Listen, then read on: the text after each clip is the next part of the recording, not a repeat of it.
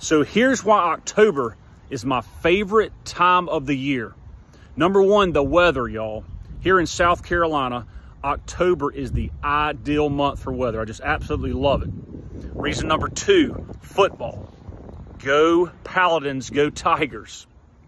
So in October, typically your best football matchups are in October. And then reason number three, my favorite, real estate. Most agents take the most time off in October through the fourth quarter. On the Rucker and Associates team, we are the complete opposite. We actually ramp it up in the fourth quarter. So I want to tell you what we have coming. We have uh, everywhere from a lake lot to uh, acreage to single family homes to many warehouse storage units to a commercial building. Y'all, we have everything. Give us a call. We'd love to help you because we own the fourth quarter. See ya.